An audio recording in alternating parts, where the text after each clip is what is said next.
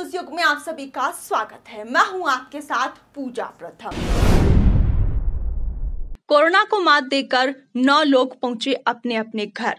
लालसोट नगर पालिका क्षेत्र के वार्ड नंबर तेरह और सत्रह में विगत दिनों सत्रह अप्रैल को अजय सैनी, पुखराज सैनी, मनीषा सैनी, दीपक सैनी, नाजिम खान, सुनीता सैनी एवं दो छोटी तीन साल की बच्चियों की माँ सहित नौ लोग कोरोना संक्रमित पाए गए थे, जिन्हें लालसोट चिकित्सा विभाग ने इलाज के लिए जिला चिकित्सालय भेजा था। जहाँ कोरोना संक्रमितों के इलाज की कमान संभाले चिकित्सक, डॉक्टर आर डी मीणा के सहयोगी चिकित्सकों के अथक प्रयासों के बाद अजय सैनी सहित सभी लोगों की कोरोना पॉजिटिव रिपोर्ट नेगेटिव आने पर।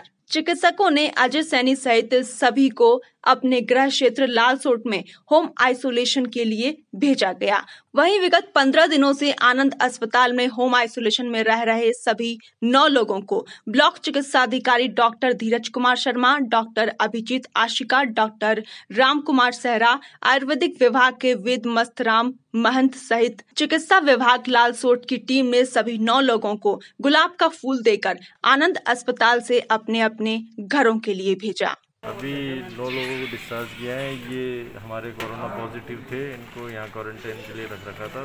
इनमें से सात लोग जो पॉजिटिव थे उनके साथ साथ दो छोटी बच्चियों की मदर भी केयर टेकर के रूप में यहाँ मौजूद थी।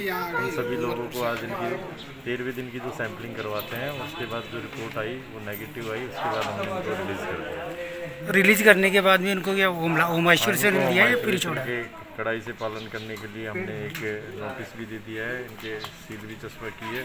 और हमारा जो आशा सहयोगी और वो है, उनको भी हम स्टाफ को लगा रखा है, इनकी मॉनिटरिंग करेंगे। फ़िलहाल के लिए समाचारों में इतना ही, बाकी खबरों के अपडेट्स के लिए बनी रहिए हमारे साथ और देखते रहिए खबरों का युग न्यूज़ युग। अगर आपने अभी तक हमारा न्यूज़ युग चैनल सब्सक्राइब नहीं किया है तो सबसे पहले इसे सब्सक्राइब कर लीजिए और पास में बने बेल आइकन को दबाना ना भूले, ताकि आपको हमारे सभी रोचक और ताज़ा तरीन खबरों की अपडेट्स लगातार मिलती रहे।